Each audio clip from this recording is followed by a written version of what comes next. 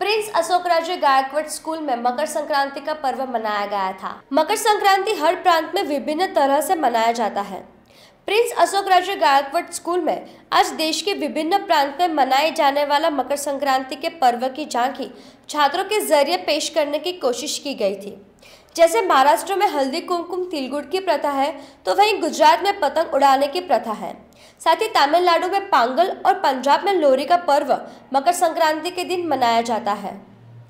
ऐसा एक त्यौहार है जहाँ हर हर स्टेट में कुछ ना कुछ त्यौहार रहता है। इसमें मद्रास ले लो या पंजाब ले लो या केरला ले लो, कोई भी स्टेट में ये त्यौहार का महत्व एक इम्पोर्टेंस रहता है।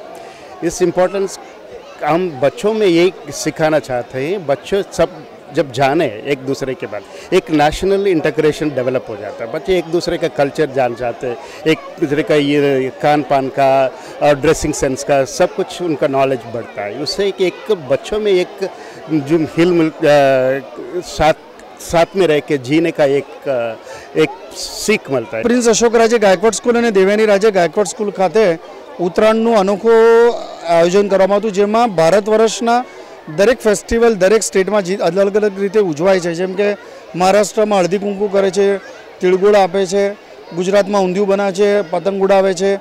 પછી આસામીઝ અને બંગાળમાં એ લોકો બિહુ ફેસ્ટિવલ કરે છે. સાથે સાથે આપણે પંજાબમાં લોડી મનાવે છે અને ઇન્ટરનેશનલ ફેસ્ટિવલ છે. આ ઉગતા સૂર્યને પ્રણામ કરવાનો, એમને વધારવાનો ફેસ્ટિવલ છે. હાર્વેસ્ટિંગ આ સિઝનમાં થાય છે. તો લોકો એને કરે છે. તો ઇન્ટરનેશનલી આખો આ ફેસ્ટિવલ આ જ ટાઈમે થાય છે. જેનું અમે લોકો ડેમોન્સ્ટ્રેશન લાઈવ કર્યું અને બાળકોને ખબર પડે કે ફક્ત ગુજરાત નહીં પણ દરેક સ્ટેટમાં અલગ અલગ રીતે એને ઉજવાય છે સારું સારું આયુર્વેદિક રીતેનું ખવાય છે અને ક્યાં ને ક્યાંક રિલિજન સાથે આ બધી સ્પિરિચ્યુઅલિટી સાથે આનંદ ઉલ્લાસ જોડાયેલો છે તેવી ભાવના સાથે અમે યોજવામાં આવ્યું